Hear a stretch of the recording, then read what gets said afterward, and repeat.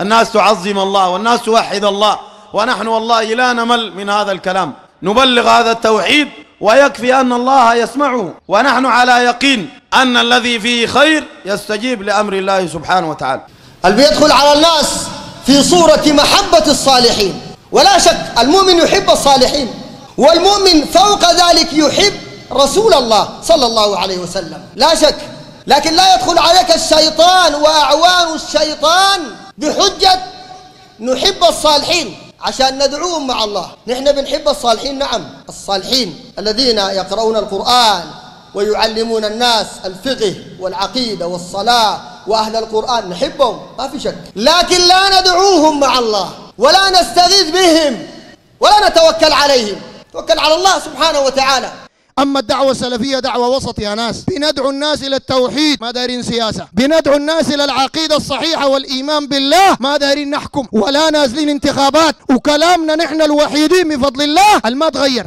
وربنا قال ومن أضل ممن يدعو من دون الله من لا يستجيب له إلى يوم القيامة وهم عن دعائهم غافلون. وإذا حشر الناس كانوا لهم أعداء وكانوا بعبادتهم والله شرك بالكم وما في شيء غتس حجر البلد دي إلا الشرك والشرك ده ما جبروه ما جبروه. الشرك ده نشروه شيوخ الطرق الصوفية.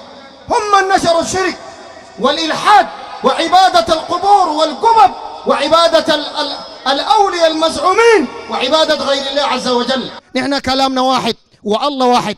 بنقول يا ناس اعبدوا الله ما تعبدوا غيره. ما تشرك بالله. ما تعبد قبة ما تعبد قبر ما تتوكل على شيخ ما تلبس لك حجاب. لأن الرسول صلى الله عليه وسلم قال من علق تميمة فقد أشرك. ما تحلف بغير الله. لأن النبي عليه الصلاة والسلام قال من حلف بغير الله فقد أشرك. ده منهجنا. والله ده منهجنا. دعوة دي خدتها في رقبتك. لو ما خدتها في رقبتك براك شايل غيرتها ما بتبلغ. لو قعدت فلان جه فلان ما جاء فلان بكرة مات تقيف الدعوة؟ فلان كذب عليك كيف الدعوة؟ فلان جنة تقيف الدعوة؟ ولا تشتغل تبلغ دين الله سبحانه وتعالى. قل لا أقول لكم عندي خزائن الله ولا أعلم الغيب.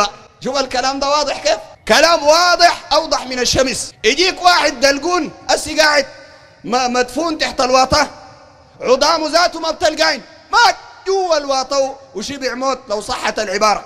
والدود أكلوا نجموا ونجم الدمورية المغتنا به. أبوك الشيخ فهمت؟ بعد ده الناس ماسكة فوقه ويجي يقولوا لك يعلم الغيب زي ما قال البرعي قوماك نزاور. الأولياء الأقطاب لهم نشاور. تشاور لك زول ميت؟ ها؟ قال منهم خفي الحال منهم مجاهر منهم عليم بالغيب باطن. وظاهر.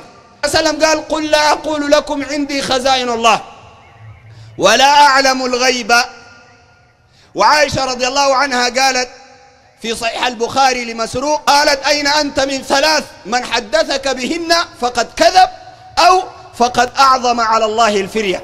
ومنها من حدثك أن محمدا صلى الله عليه وسلم يعلم ما في غد فقد كذب. البرعي كذاب لأنه قال شيوخه بيعلموا الغيب.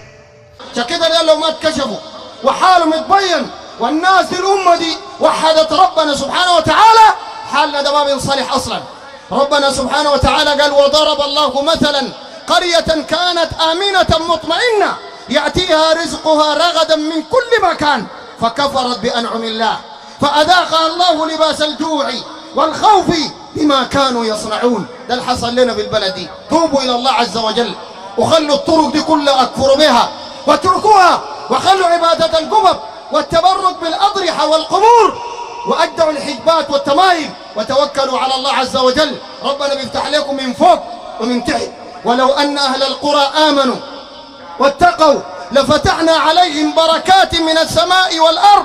ولكن كذبوا فأخذناهم بما كانوا يكسبون.